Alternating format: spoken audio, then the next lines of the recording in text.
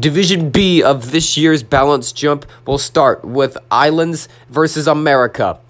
I must say, this is a very exciting matchup. These two marbles right here, I would consider them as, as two of the greatest marbles to ever play in the AMC. I would definitely put them in the top 15, maybe the top 10 all time.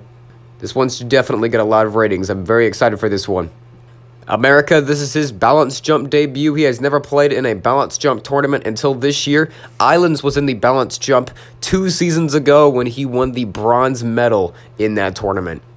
So Islands is back for more. We all know Islands is a legit contender. We all know America is a legit contender. But let's just see how this balance jump tournament will go for both of these marbles this year. But anyway, let's begin their first game of this balance jump season right now.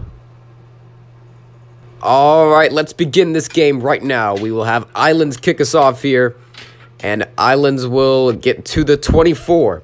So good start to the tournament for Islands. 24 is a decent attempt, but anyway, America now, on his first try, will miss it. Bad start to the tournament for America, and now zero for America. 24 to nothing is the score. And Islands, what will he do in the second try? And it's our first full 50 of the balance jump in our third game of the tournament. And America has got a lot of work to do at this point to catch up. And it's another zero for America. And it's going to be 74 to nothing. And Islands putting the heat on America in this game. All right, Islands with another full 50. What a game for Islands. Incredible start for him, and a lot of great things are coming Islands' way in this year's balance jump. And America gets one on the third try. Only will get one point this whole game. 124 to 1. So Islands putting the heat on America in this one.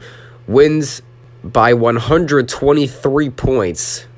And comes in and takes care of business today. Well, I must say, this is qu quite the blowout.